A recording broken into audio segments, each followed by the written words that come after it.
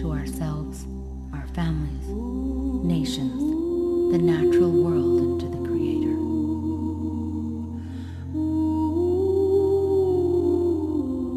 The words say we are to awaken, stand up, be counted.